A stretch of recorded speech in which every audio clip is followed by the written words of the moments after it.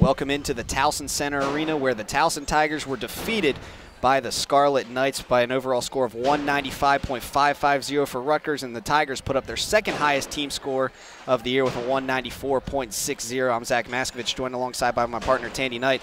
And Tandy, the Tigers put up their second best score of the season, and today they got a really strong performance on the floor from the, the whole team.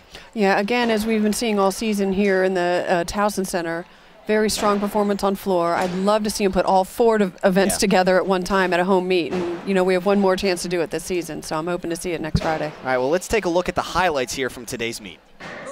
It was the second to last meet ever here inside the Towson Center Arena for the Tigers gymnastics team, and they would get a strong performance from their upperclassmen here today.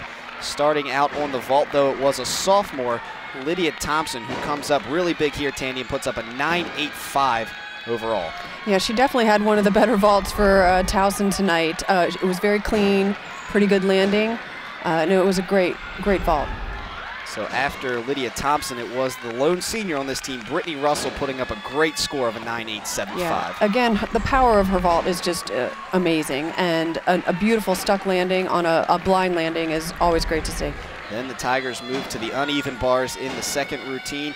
And again, we're looking at Lydia Thompson here as she puts up a 9.75 overall score, just what the Tigers needed heading into the second rotation. Yeah, and again, uh, she's had a great meet all around, a very clean gymnast, um, and so she's really fun to watch. You see a beautiful landing there from Lydia Thompson. Again, she gets a 9.750. And then Tandy, heading into the meet, we found this very interesting, getting a chance to see Alexa Davis perform on the bars. First time we've gotten a chance to see it, and she did a beautiful job here today. She did. I, I'm, I was very surprised to see it. I didn't know she was a bar worker, and she did a wonderful job. So this is Alexa Davis again as she has come up big all meet long here for the Tigers. She competed in three of the four events. This one in the second rotation. Beautiful stuck landing there from Alexa, and she gets a 9.75 overall score there to help lead the Tigers to their second highest score. And then we moved over to the balance beam, and right off the bat, it was Alexa Davis again, as this is one of her strong points, Tandy. We always see her perform beautifully on the beam. It is. She's so confident on the balance beam and has such great poise, and she is a great lead-off uh, routine to put. And she just sets the pace and the tone for the rest of the girls to go up and, and have that same confidence.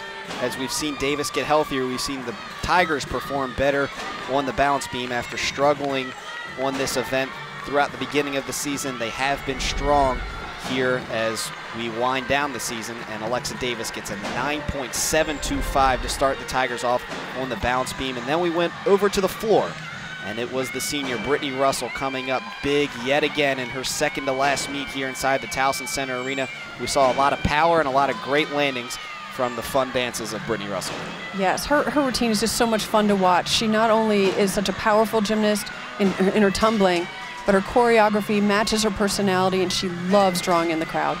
She definitely does get the crowd going here inside the Towson Center Arena, as it was Pink Day here, as the Tigers helped raise awareness for breast cancer research. So the Tigers today come up short as they put up their second highest team score overall with a 194.60, and they fall by a little more than a point to Rutgers, who puts up a 195.550. The next meet for the Tigers is next Friday night when they host George Washington, West Chester, and Southern Connecticut. That meet gets underway at 7 o'clock p.m. You can catch the meet right here on the Towson Sports Network, or you can try to make it out here. Tickets still available at TowsonTigers.com or by calling 1-855-TU-TIGER. For Tandy Knight, I'm Zach Maskavich. That'll do it for the coverage from here inside the Towson Center.